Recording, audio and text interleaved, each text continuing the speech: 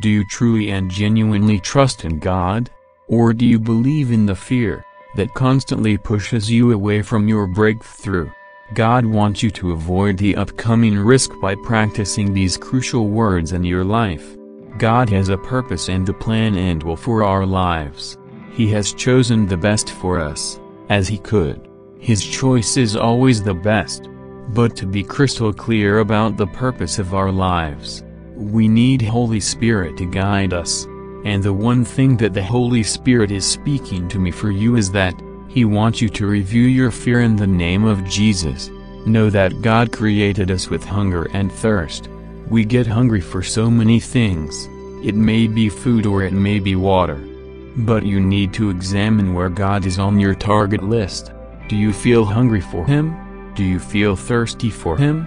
As the deer pants for streams of water, so my soul longs after you. O God, my soul, thirsts for God the living God.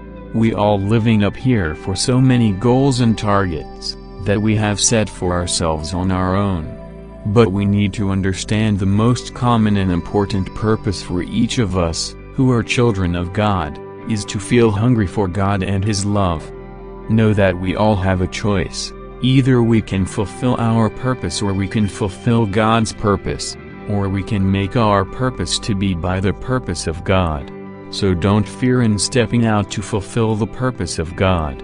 And for the next week, your only purpose is to remove the fear from within you, and replace it with a hunger for getting God's love. This is how you would be able to avoid the risk of making your life miserable, and in the web of many sorrows. I pray that may God make you happy forever. Amen.